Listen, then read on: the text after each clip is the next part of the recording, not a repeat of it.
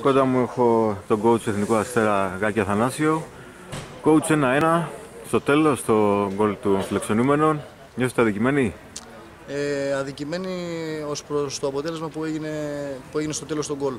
Ε, κατά τα άλλα, εγώ πιστεύω ότι είναι δίκαιο το αποτέλεσμα του Χ, γιατί ήταν μια πολύ καλή ομάδα, η δεύτερη και εμείς ο δέκατη. Ε, παίξαμε όμως πάρα πολύ καλά, σε πιο πολύ αμυντικά.